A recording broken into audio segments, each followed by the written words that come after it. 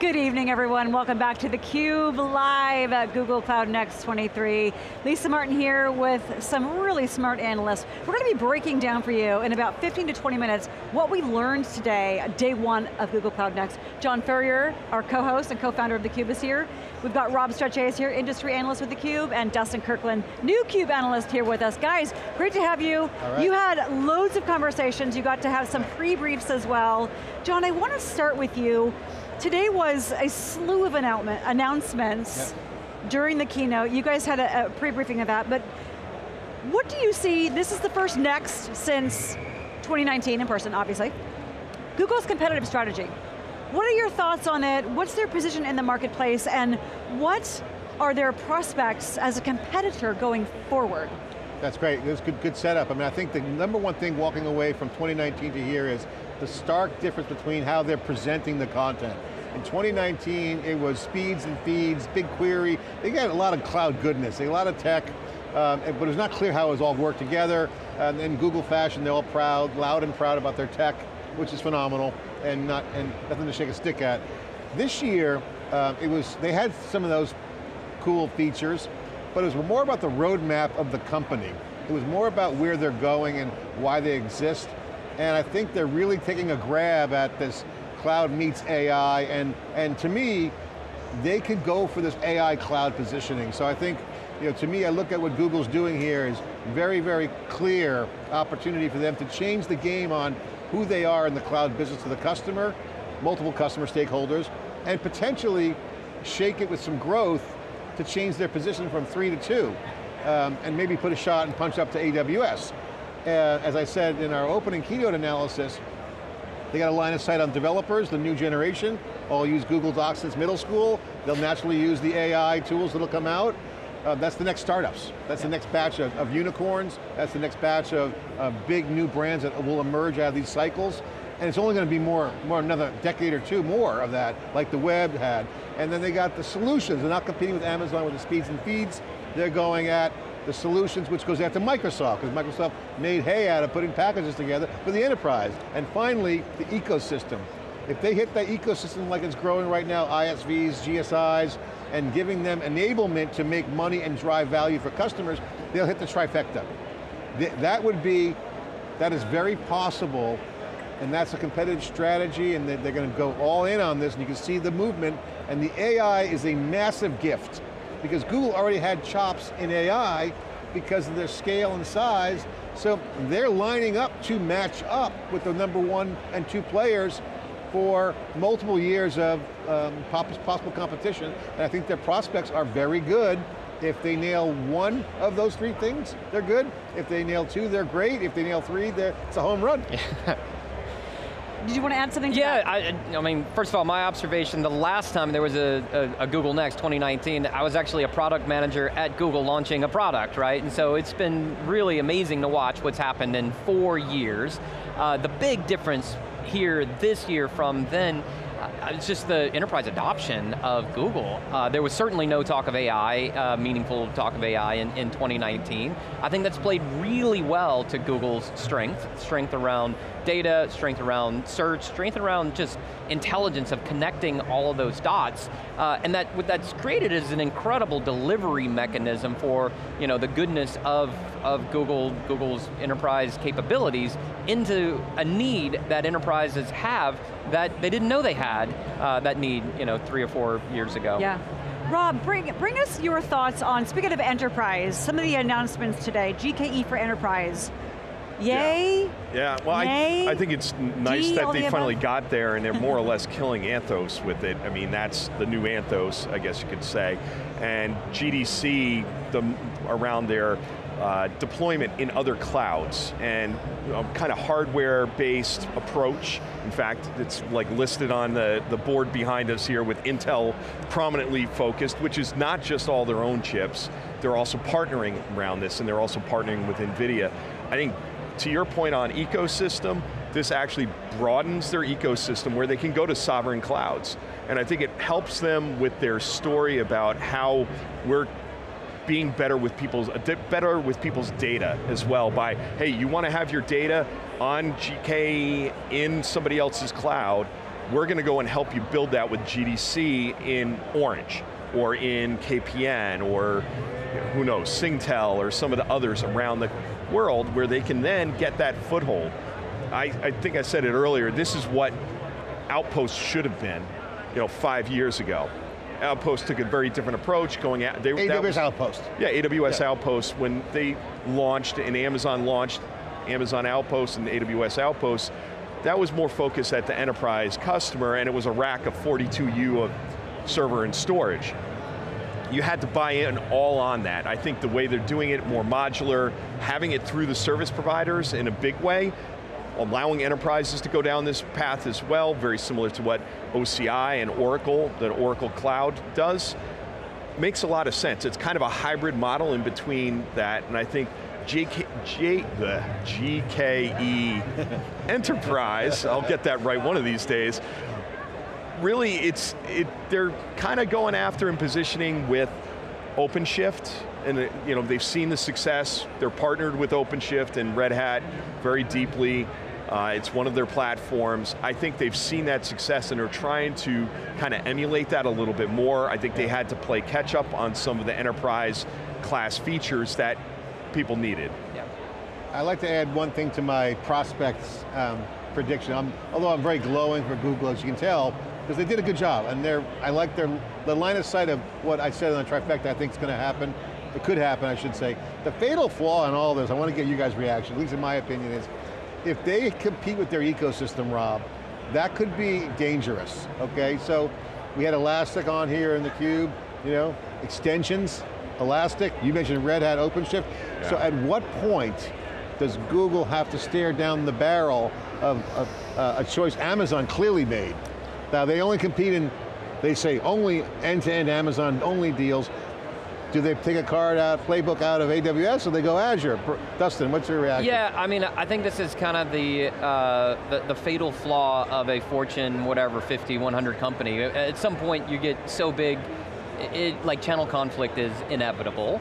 Um, now, I think what just to like, I don't know, get on, get on a high horse and, and uh, uh, with a cube, wish, high horse, high horse here, 20 foot stage. You kind of have to hope that large companies don't take advantage of that to totally squash competition. Certainly not unfairly or illegally, right. but even just like immorally or, or yeah. unethically. Right. There's going to be channel conflict, right? Elastic is a yeah. great example who has a product, a search product, what do you know, that works well inside of Google Cloud and with Google Cloud customers, and you know that's a place where I think Google yeah. has left a little bit of room for innovation, um, and that's just one example of hundreds here. I mean, I would say a third to half of the vendors here yeah. compete with Google yeah. in some way. Yeah. It's just a matter about you know doing that fairly and, and ethically, leaving room. Yeah, well, uh, oh, easy, let's just un unpack that a little bit because I think that's the key word, trust. Now remember, we're, we're speculating about how it's early growing of the ecosystem. Trust is key, but enabling the partners to be successful, yes. right? This is going to be the key word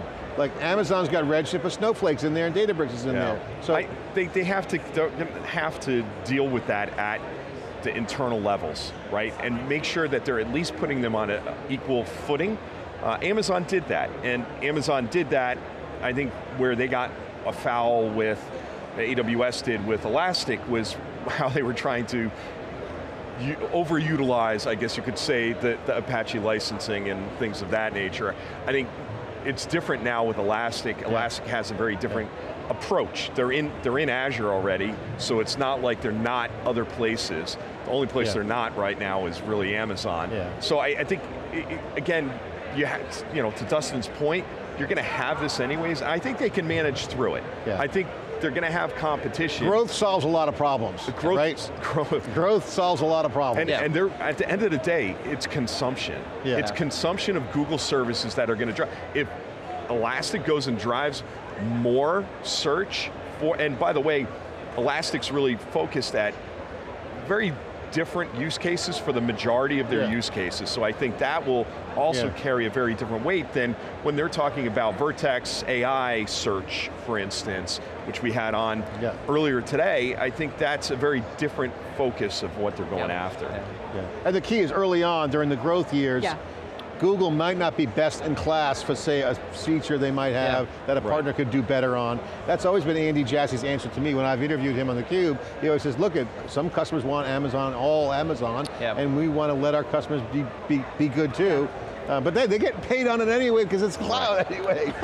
Just Like- while we're on that, that sort of startup note, one interesting observation here, and I'll, I'll say this as a former Googler, as a Xoogler, as we call ourselves, um, so many of these AI startups are, uh, have a ton of former Google DNA in them, Yeah. and so That's you know right. Google expanded so much, and there's this this huge alumni network, incredible IQ amongst Yeah. you know the, those those former Googlers have spun out all over the world and planted the seeds of dozens, if not hundreds, of startups that I think are each of which are going to change the world. And their research ways. investment, by the way, DeepMind and deep learning areas Right. are deep.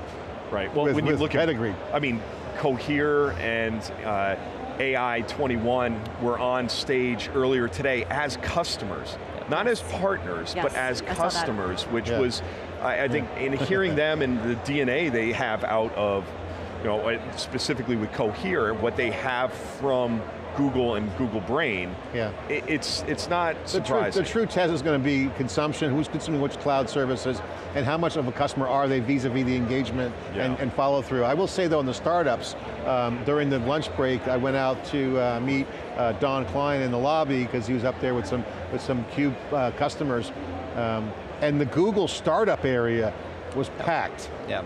Wall to wall Yeah. people. And this wasn't, these weren't plants, these were legit VCs, There's legit yeah. Yeah, there is absolutely entrepreneurs, yeah. uh, bankers. I mean, I mean, Yeah. the AI wave has just got a frothy capital market right now.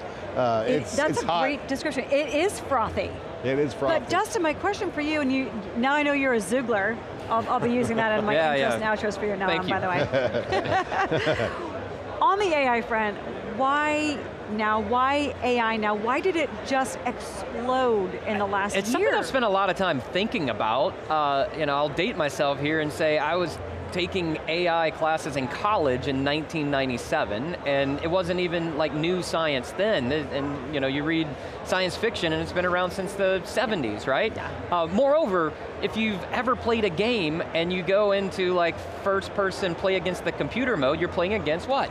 The AI. My kids play Minecraft all the time and they're playing against the AI, and that's been around forever. Yeah. But what we're talking about here is completely different, and it's this generative AI, it's the learning, it's the inferencing, inferencing is making decisions. What's changed there is a couple, two things I would boil it down to. One is this rack of machines right behind us, these incredible TPUs, tensor processing units, and NVIDIA, Jensen came on Yep. earlier this morning talking about the NVIDIA GPUs. Of course, Intel and AMD have a dog in that race uh, as well. The hardware has changed. Fundamentally, has allowed for massive scale, unlike anything that we, we've dreamed of. Now you couple that with more data than you know we've ever had in human history being created every single day, and the marriage of those two allows for that artificial intelligence to truly be Yeah. intelligent. And that's different. That's materially different than a game Yeah. bot deciding, you know, balls from strikes in a, in, a, in a baseball game or something. Yeah, and I would say too, this cloud scale and the machines, and as, as SaaS comes, becomes platformized, you're seeing with AI, the LLMs bring new kind of things like vector, vector database embeddings, um, the idea of extensions. We were talking to a VC from Madrona, John Turow, who's in the hallways here. He was excited about the idea that you can do stuff now with compliance built into runtime Yeah. in, in these apps, and the demos are legit next level.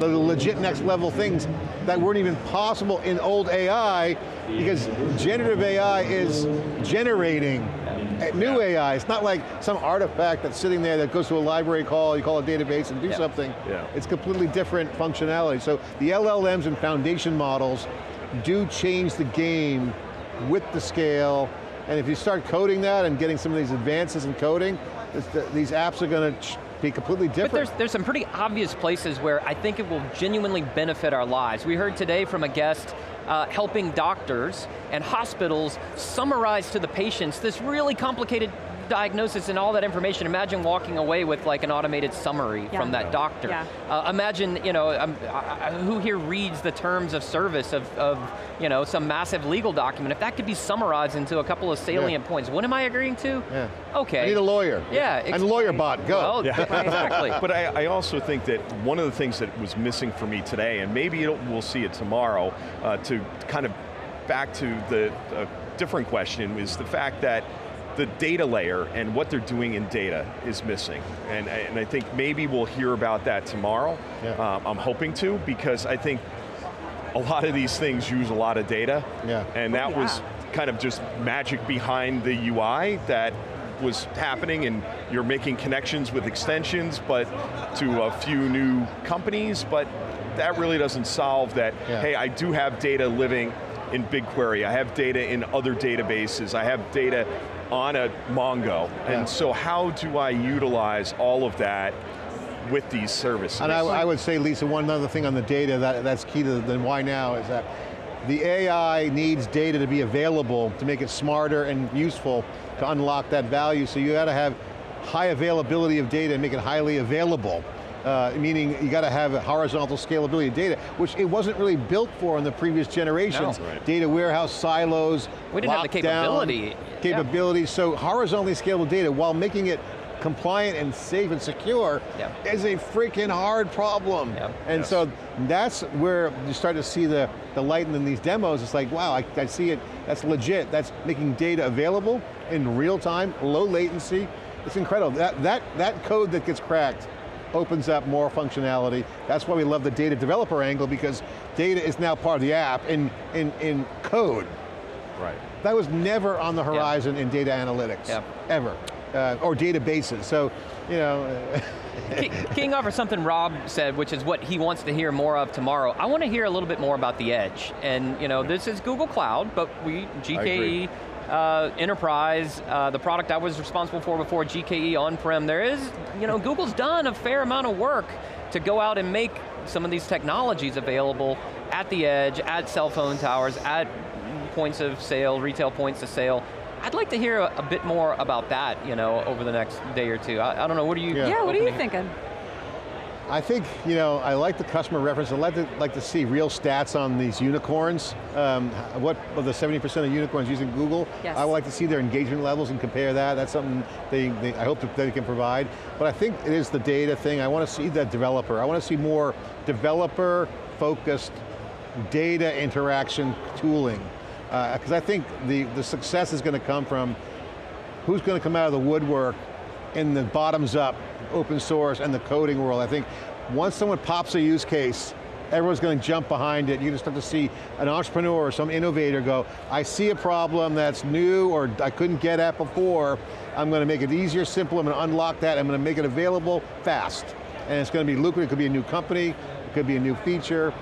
I'm looking for those, those signals that'll give the developer the power to unleash Yeah. their entrepreneurial creativity. So um, uh, right now the demos they do it really, the, do, the Duet AI was impressive, so I thought you know, that was good. I want to see that, I want to see the data developer traction. That's what I'm looking for. Data developer traction, edge, the data story, the data plays, is what we're looking, hopefully, to see tomorrow, guys, from your perspectives. Yeah, this, Yes. how, do, how does the data, how do all these databases work? They got BigQuery, they got BigQuery And they're all Studio. here. and There's a lot of integration.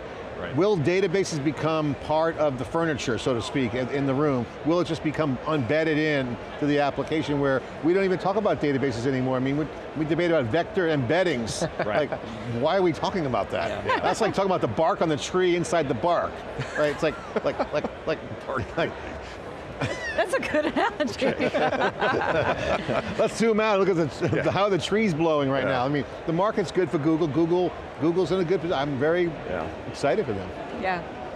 Final, final thoughts, guys, in our last couple of minutes here in terms of like the words that you would describe day one, the energy, the momentum, the voices of the ecosystem that you heard on theCUBE. What, what words come to mind? I think AI, um, cloud plus AI is in my head right now because I thought Databricks did a good event where they had data plus AI, how they put data and AI together. I think Google, you know, cloud meets AI, really sets them up for the AI cloud. So to me, what that's kept on coming in my head was, wow, Google could come out tomorrow and say, we're the AI cloud, and run the table with the younger generation, and that alone could be game changing. So, you know, Amazon's got to respond. So Yeah. like, AWS might not be known for the 24 year old who's graduated college and got some coding chops, you give them a, a Codey and some code assistance, Yeah. they could be whipping up code and writing apps that actually get traction like really fast. Really fast. And that's the value, a next unicorn. Who knows? And they might not even think about AWS at all. That's a problem for AWS, the number one player, and Microsoft's kind of stuck in that, in the middle of a, are we uh, an older company, are we old guard, or are we Yep. young and fresh? Right, that's a great know, point. Cool and relevant wins the game, in my opinion. That's, Yeah, those are the sucks two to words. be middle age, right? I want to do both of those, cool and relevant. Cool I and think relevant. the cube helps with Well, that. they're a tweener. They're, I mean, Yeah. AWS is, I think, stuck in that tweener spot right now where they tried to hard make a left turn and go enterprise from the developers who had gotten them there. They didn't quite make it across the chasm to really hardcore enterprise. Microsoft kind of stopped them a little bit there. Yeah. If they pivoting back towards engineer and the devs, what ones they pick up? I think Yeah. that to to our point, if, if you're one, two, or three in which markets, AWS never wants to be number three in any market. In fact, they went and got rid of Honeycode. So what's going to what's going to what's going to replace that as their low code, no code portion of their portfolio at reInvent this year? There's got to be something there that they Yep. got to be moving to. But you had GitLab and Google. You have GitHub and Microsoft.